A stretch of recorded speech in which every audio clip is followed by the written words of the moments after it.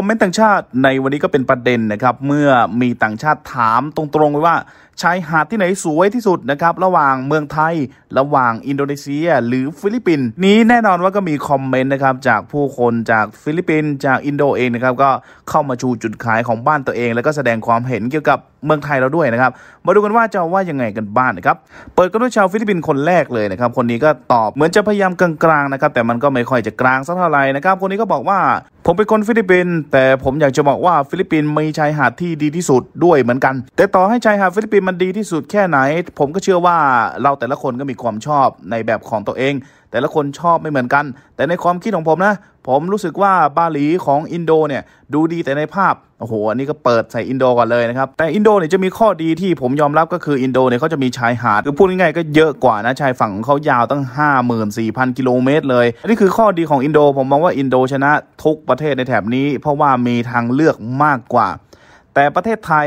แม้ว่าจะไม่ได้มีชายหาดมากที่สุด หรือว่ามีชายฝั่งยาวที่สุด แต่ประเทศไทยเนี่ยกลับกลายเป็นว่าเป็นประเทศที่มีผู้เข้ามาท่องเที่ยวมากที่สุด อย่างใน 4-5 ปีที่แล้วเนี่ยพวกเขามีนักท่องเที่ยวหลัก 30-40 ล้านคนเลยทีเดียว ในขณะที่อินโดนีเซียเพิ่งจะมี 15 ล้านคน ฟิลิปปินส์ของเรามีแค่ 7 ล้านคนก็อย่างที่ผมบอกไว้ก่อนหน้านะว่าเราแต่ละคนก็มีความชอบในแบบของตัวเอง ผมไม่เคยคิดว่าประเทศไทยจะมีชายหาดที่สวยที่สุด แต่ประเทศไทยได้รับความนิยมมากที่สุดอันนี้ผมยอมรับแต่ในเมื่อผมเป็นชาวฟิลิปปินส์ผมจะพูดถึงสิ่งที่ยอดเยี่ยมเกี่ยวกับฟิลิปปินส์บ้านผมบ้างแล้วกัน ผมมองว่าบ้านผมเนี่ยพวกเราส่วนใหญ่สามารถพูดภาษาอังกฤษ หรือว่าเข้าใจภาษาอังกฤษของคุณได้ อาหารก็อร่อยนี้มีความได้เปรียบมากๆสำหรับฟิลิปปินส์แต่ถ้าว่านักท่องเที่ยวกลับไม่ได้เข้ามาเยอะเหมือนที่เมืองไทยมากนัก แล้วก็พูดได้เลยว่าเรามีชายหาดที่สวยงามเยอะกว่าประเทศไทยตั้งหลายที่นั้นนะครับเขาก็เหมือนปักหมุดในแผนที่นะครับตามสถานที่ต่างๆ ว่าเขามีหลายที่มากๆเลยทีเดียวนะครับอะก็จริงอย่างที่เขาว่านะครับด้วยความที่เป็นเกาะนะในขณะที่ชาวฟิลิปปินส์คนถัดมานะครับก็บอกว่าประเทศไทยถ้าเทียบกับฟิลิปปินส์ประเทศไทยมีชายหาดที่ดีอยู่เพียงไม่กี่แห่งเท่านั้น แต่ไม่ใช่ว่าหาดพวกเขาไม่ดี แต่มันเนื่องจากพวกเขาไม่ใช่หมู่เกาะนั่นจึงทำให้มีข้อจำกัดเรื่องของสถานที่ที่มีเพียงไม่กี่แห่ง และก็เลยทำให้นักท่องเที่ยวนั้นหนาแน่นมากๆ ในขณะที่ฟิลิปปินส์กับอินโด มีแนวปะการังประมาณ 77%ของเอเชียตะวันออกเฉียงใต้เลย ทั้งสองประเทศแน่นอน ผมมองว่าทั้งสองประเทศนี้จะมีชายหาด หรือว่าหาดทรายสีขาวมากกว่าประเทศไทยอย่างแน่นอน ผมก็ทึ่งกับสิ่งที่ประเทศไทยทำได้นะ พวกเขาเป็นที่รู้จักมากที่สุดแต่ทั้งที่เขาไม่ได้มีของมากที่สุดเหมือนกับเรา ในขณะที่โอ้โหรู้สึกว่าชาวฟิลิปปินส์จะคอมเมนต์กันเยอะเลยทีเดียวนะครับถัดมากันบ้างนะครับ คอมเมนต์นี้นะครับ ก็บอกว่าสิ่งที่คุณถามมามันเหมือนเปรียบเทียบแอปเปิลส้ม และก็มะนาวเลย ผมเป็นคนฟิลิปปินส์ผมจะเลือกตามสิ่งที่ผมเห็นด้วยตาของตัวเอง ถ้าพูดถึงชายหาดที่สวยนะ ผมเองเคยไปชายหาดที่ประเทศไทยหลายแห่ง และทั้งหมดนั้นทำให้ผมผิดหวังอ่ามาดูรีวิวในมุมของเขาบ้านนะครับ คือด้วยความที่เขาเอามันหยิบยกมาเทียบกับบ้านเขานะคือเขาก็พูดเทียบกับบ้านเขาเอาซะใหญ่เลยทีเดียวนะครับเขาบอกว่าคำตอบที่ชัดเจนของผมก็คือผมเองนะประเทศไทยผมเคยไปที่ภูเก็ต ไปที่สมุย ไปที่พะงันพีพีกระบี่เกาะเต่าหลีเป๊ะหัวหินพัทยาไปมาหมดแล้ว ผมไม่สามารถบอกได้เลยว่าสิ่งที่พวกเขามีนั้นสุดยอด เอาเป็นว่าถ้าพูดแบบกลางๆ ผมจะไม่เทียบกับบ้านผมแล้วกันนะ ผมจะเทียบกับอินโดให้แล้วกัน ในขณะที่อินโดต้องเข้าใจว่าอินโดเป็นเกาะตั้ง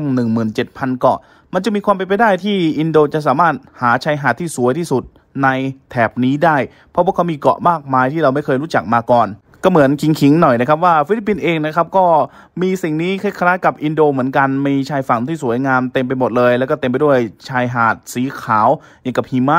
จนถึงหาดทรายสีดำที่หลากหลาย ไปจนถึงหาดกรวดก็มี เหมือนกับว่าจะไม่พูดเรื่องสวยเรื่องงามแล้วก็พูดถึงเรื่องจำนวนของที่มีนั่นเองนะครับเรียกว่าใส่ยับเลยทีเดียวนะครับ แต่ก็เป็นที่สงสัยนะครับว่าทำไมเมืองไทยถึงเป็นที่นิยมมากที่สุดนะครับ แม้ว่าพวกเขาจะ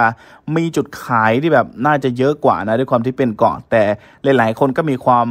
งงๆไม่น้อยนะครับที่เข้ามาคอมเมนต์นะว่าจะโชว์ชายหาดจำนวนเยอะ แต่ถ้าว่าเจอไทยเข้าไปไม่ต้องใช้ชายหาดเยอะขนาดนั้น แต่กลับเป็นที่รู้จักและก็มีชื่อเสียงมากกว่า ในขณะที่ต่างชาติคนถัดมานะครับก็เข้ามาโต้ตอบคอมเมนต์เหล่านี้กันบ้างนนะครับ ก็เข้ามาตอบอย่างแบบจะเรียกได้ว่า เอาสักหงายเลยทีเดียวนะครับ โดยฝรั่งคนนี้นะครับก็บอกว่าเหตุผลที่เมืองไทยได้รับความนิยมมากที่สุดมันเป็นเรื่องนี้ คือต่อให้ 2 ประเทศดังกล่าว มีชายหาดที่สวยงาม แต่บางทีชายหาดที่สวยงามนั้น มันอาจจะไม่มีใครช่วยคุณในกรณีที่คุณจมน้ำในขณะที่ชายหาดของประเทศไทย แม้ว่าจะมีผู้คนเยอะแยะมากมาย แต่รู้ไหมว่าชายหาดของไทยเนี่ยได้รับการพัฒนามากกว่า ได้รับการพัฒนาเป็นอย่างดี และมันสนุกกว่าชายหาดที่สวยบริสุทธิ์และก็ไร้ผู้คน ผมมองว่าประชาชนที่เมืองไทยนะครับหมายถึงคนไทยนะครับมีความเป็นมืออาชีพต่อนักท่องเที่ยวมากกว่า เรื่องนี้ก็เลยเป็นข้อพิสูจน์ว่าทำไม พวกเขามีชายหาดน้อยกว่า แต่ได้รับความนิยมมากกว่า และผู้คนก็ยังแห่ไปที่นั่นทั้งทั้งที่คุณอาจจะบอกว่าบ้านคุณมีชายหาดว่างเปล่าไม่มีใครยืนอยู่เลย แต่มันมีจุดนี้ที่บ้านคุณทำไปได้ บางทีชีวิตริมชายหาดอาจจะไม่ได้ต้องการแบบที่ฟิลิปปินส์หรืออินโดเป็น ชาวต่างชาติต้องการเข้าไปหาทะเลที่มีความเป็นมิตร มีความมีชีวิตชีวา ซึ่งประเทศไทยตอบโจทย์เกี่ยวกับเรื่องนี้ พูดง่าย ๆ ก็คือมีกิจกรรมทางชายหาดให้ทำนะครับ มีบริการอะไรต่างๆ แบบทั่วถึง และก็มีสิ่งอำนวยความสะดวกครบครันนั่นเองนะครับ แล้วเขาก็พูดส่งท้ายว่าสุดท้ายนี้นะครับ แม้ว่าต่อให้เจอชายหาดที่สวยงามแค่ไหนนะครับแต่ถ้าคุณไม่มีผู้คนมาสนุกด้วย หรือว่าไม่มีเพื่อนมาสนุกด้วยเนี่ยความสนุกมันจะน้อยลงมากๆอ่านี่ก็เป็นในมุมของฝรั่งนะครับ แต่ในส่วนของสุดท้ายนะครับเขาก็คอมเมนต์ไว้ว่า ดังนั้นทั้งหมดทั้งมวลผมคิดว่าพวกเขาทั้งหมดก็สวยงามพอๆกันนั่นแหละ ไม่ต้องมาเปรียบเทียบว่าใครสวยกว่าเลย แต่ที่เมืองไทยได้รับความนิยมกว่าก็เหตุผลที่ผมบอกไป โอ้โห ก็เอาซะตรงประเด็นเลยทีเดียวนะครับ ดูกันว่าชาวฟิลิปปินส์คนอื่นจะว่ายังไงกันบ้างนะครับ ถ้าเจอคอมเมนต์แบบนี้เข้าไปนะครับคอมเมนต์มาครับก็เหมือนกับว่าเข้ามาเห็นด้วยนะครับ อันนี้เป็นชาวฟิลิปปินส์เห็นด้วยนะเขาก็บอกว่าผมเห็นด้วยกับคำตอบของคุณเลย บางทีการมาเที่ยวมันไม่ได้มองหาสิ่งที่สวยงามที่สุดอย่างเดียว บางทีมันเป็นเรื่องของการเดินทางที่สะดวก เป็นเรื่องของที่พักว่าพักที่ไหนดี บางคนพวกเขาไม่ได้มาหาชายหาดที่สวยที่สุด แต่เขาอาจจะต้องการที่พักที่มันสะดวกสบายและตรงใจพวกเขาผมยอมรับเลยว่าแม้ว่าคอมเมนต์ก่อนหน้าจะบอกว่าฟิลิปปินส์กับอินโดมีชายหาดที่สวยงามอย่างมากมายและมากกว่าเมืองไทยเยอะ แต่เรื่องของที่พักเราไม่พร้อมเท่าพวกเขา อันนี้คืออีกมุมนึงที่ไม่ได้พูดถึงกันเลย และการจะเป็นสถานที่ที่มีชื่อเสียง มันไม่ใช่เรื่องของสถานที่อย่างเดียว มันเป็นเรื่องของความนิยมของอาหาร ความนิยมของด้านอื่น ๆ และก็เป็นที่ถูกพูดถึงในด้านอื่น ๆ ด้วยในขณะที่คอมเมนต์ต่างชาติอีกคนนะครับรู้สึกว่าถ้าเป็นฝรั่งนะครับก็คอมเมนต์อย่างกลางๆอยู่นะ ไม่ได้ค่อนไปทางใดทางหนึ่งนะครับแต่ถ้าเป็นผู้คนจากประเทศใดประเทศหนึ่งก็อาจจะเอนเอียงไปหน่อยนะครับอย่างคอมเมนต์นี้จากคุณมิเชลครับเขาก็บอกว่า ประเทศเหล่านี้ที่คุณพูดถึง ฉันมองว่าทุกที่มีชายหาดที่สวยงามนะไม่ว่าจะเป็นเมืองไทย ฟิลิปปินส์อินโดนีเซีย ฉันมองว่าพวกเขามีเอกลักษณ์ตามธรรมชาติในแบบของตนเอง เมื่อพูดถึงชายหาดนะมีเอกลักษณ์ในแบบของตนเองเลย ส่วนเรื่องเกี่ยวกับภาษาที่ชาวฟิลิปปินส์มักจะบอกว่าพวกเขาสามารถสื่อสารกับเราได้อย่างรู้เรื่องสำหรับเรื่องนี้ฉันคิดว่าทุกคนรู้วิธีพูดภาษาอังกฤษนะและทุกคนสามารถเรียนรู้กับภาษาอังกฤษได้